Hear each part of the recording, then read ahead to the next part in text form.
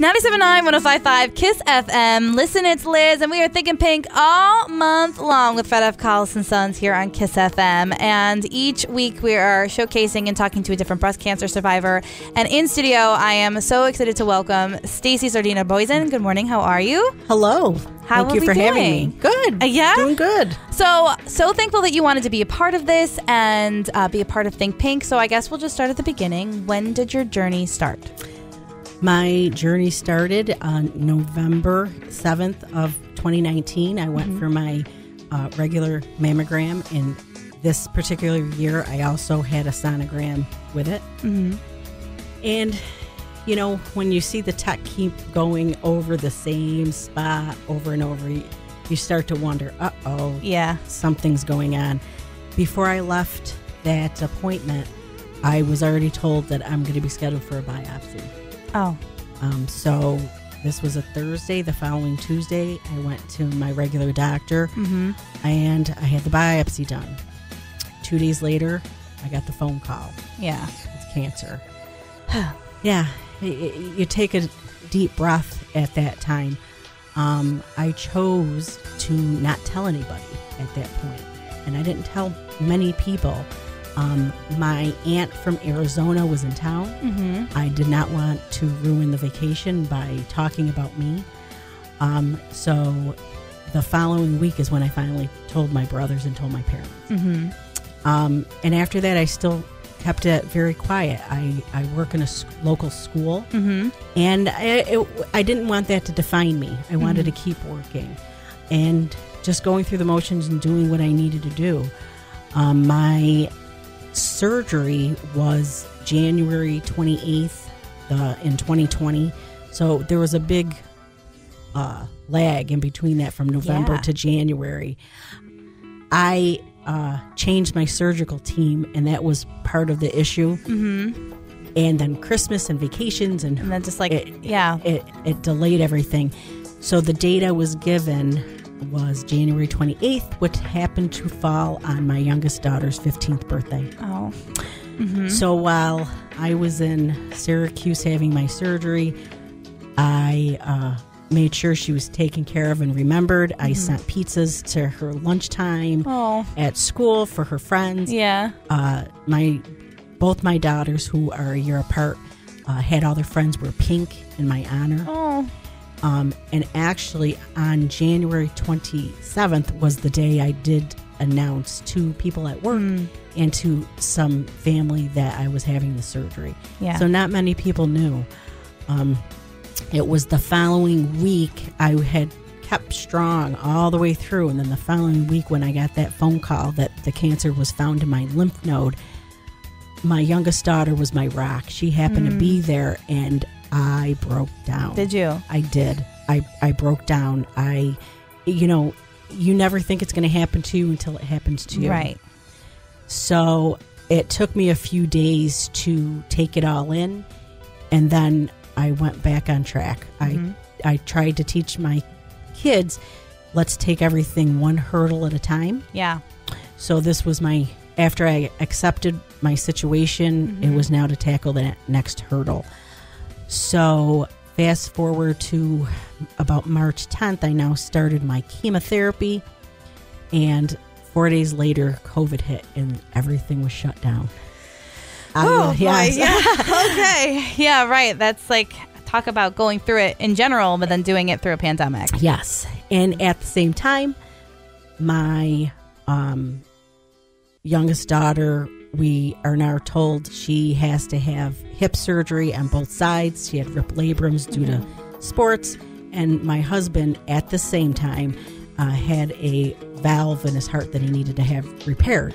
So Yeah. we had all this. All the things happening all, All at once. All of you guys. Yeah. and, Okay. with, and with COVID, so you Yes. can't be around Other- people. yes, right. You can't be around other people. Except for us. yeah, right. So, uh, and again, we we went through it and we dealt with it one hurdle at a time. You know, when my chemo finished, which was mid June, my husband went to have his heart surgery. Unfortunately, because of COVID, we couldn't be there, but the support we were there when he came home. Yeah. Then my daughter's hip first hip surgery was in July. Mm-hmm. Then I had my other surgery in July for my breast implants. Mm-hmm. And then my daughter had her other hip surgery the following October. So it kept going on and on. Right. Um, but we all supported each other throughout this. Mm-hmm. Um, you know, any cancer survivor would probably tell you you you live with uh, a different quality of life. Mm-hmm. Uh, knock on wood, I am cancer free at this time, but I am constantly being seen by doctors, follow up appointments. Um, I am on an estrogen blocker, which my cancer was fed by. Mm-hmm. So you now live with the effects of having no estrogen being absorbed in your body, Yeah. um, weight gain, trouble moving, Mm-hmm. you know, chemo brain, Mhm. which is brain fog galore. Um, but, you know, thankfully that it was caught Yeah. and that I'm still here with my daughters, Mm-hmm. but it's the evolving quality of life that we just continue to flow with. Yeah.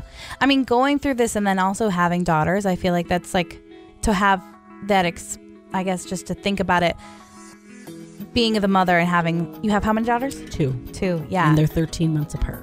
yeah. So, like, to have, to have two daughters with you, like, was it this in your family at all? Not my immediate family. Yeah. I, I, I have a cousin who's uh, five years younger than me who is still dealing uh, with stage four cancer, but not in my immediate family. Mm-hmm. In my immediate family, uh, colon cancer Yeah. is something that does run, but But not breast now cancer. I was uh, did have the genetic test. hmm Um, just talking with my doctors, we're thinking.